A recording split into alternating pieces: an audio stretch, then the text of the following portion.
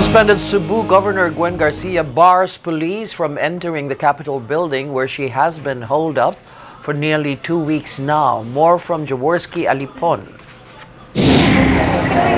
Carrying placards, supporters of suspended Cebu Governor Gwen Garcia trooped to the provincial capitol Sunday. Police again set up barricades to prevent any violence, but the Garcia family came out to greet the protesters. They say the anger of Cebuanos over the suspension of their governor can no longer be suppressed. Yes, expected is one to their capital. Supporters camp out at the balcony while Governor Garcia peeked out of the window. After a few moments, she came out to greet them and gave a short statement. Ang temporary restraining order kana ipakanaog na gayod.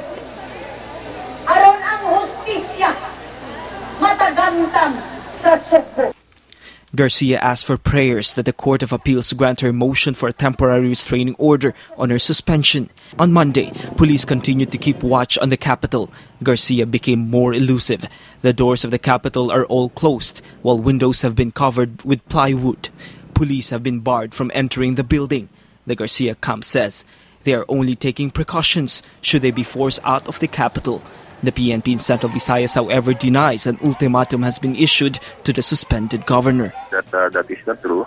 Uh, what we have there are uh, security personnel manning the uh, the gates ng ating uh, provincial capital as requested by the governor, the acting governor Agnes Magpale. George Calipon, ABS-CBN News, Cebu.